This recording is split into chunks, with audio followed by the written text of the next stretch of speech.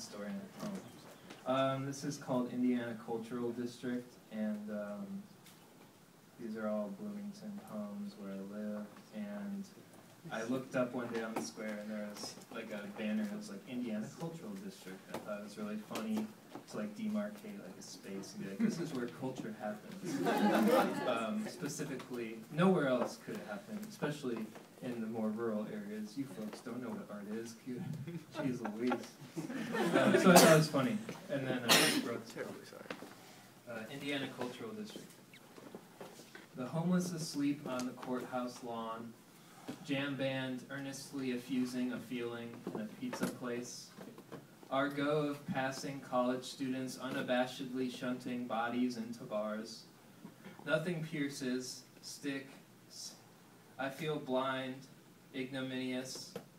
I open and read an from you which feels real. Do you like being a working machine? A cop runs a red light.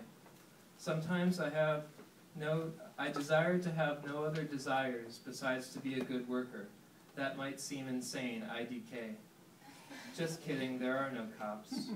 At work I feel better about life after bringing someone a sweet tea and refilling it six times. A working machine, service industry terminator, replete with purpose and meaning, understanding of and able to fulfill basic needs, endowed with that shit. Fuck yeah.